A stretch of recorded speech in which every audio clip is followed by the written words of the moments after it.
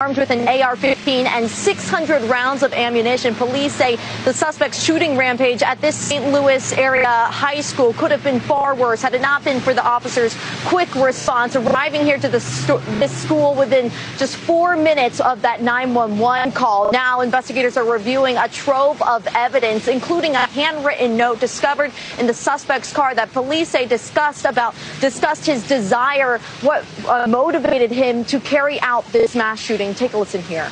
He wrote, quote, I don't have any friends. I don't have any family. I've never had a girlfriend. I've never had a social life. I've been an isolated loner my entire life.